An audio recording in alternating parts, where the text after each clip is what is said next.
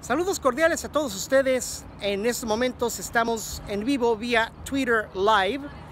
en el estadio BMO Field de la ciudad de Toronto, donde ha terminado la práctica del equipo de Canadá. El día de mañana un partido importante para la selección femenina de fútbol de Canadá. Canadá estará enfrentando a la selección de México aquí en este mismo estadio con capacidad para 28 mil aficionados. Este es el estadio BMO Field que fue también sede del Mundial de la FIFA 2007 donde aquí mismo estuve con la selección uruguaya de fútbol como Team Leader Officer y enfrentaron a la selección de las varas y las estrellas Estados Unidos y en tiempo extra Estados Unidos definitivamente ganó 2 a 1 al equipo que dirigía en ese tiempo nuestro compañero Gustavo Ferrín, al que le mando un cordial abrazo, un saludo. Este estadio, de hecho, eh, tenía capacidad para 20 mil aficionados y se expandió hasta 28 mil, como podemos ver. Lo único que he notado de este estadio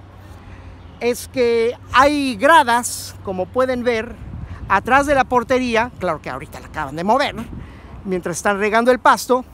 pero del otro lado les hace falta un poco de gradas más atrás de las porterías, pero sin embargo este estadio es muy bonito, muy chiquito, es más o menos como el estadio de Washington Huskies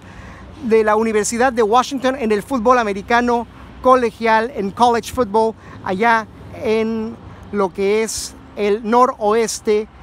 de los Estados Unidos que colinda justamente con British Columbia y con la ciudad de Vancouver. Estamos aquí en Toronto, Canadá. Detrás del estadio pues está prácticamente eh, el centro de la ciudad,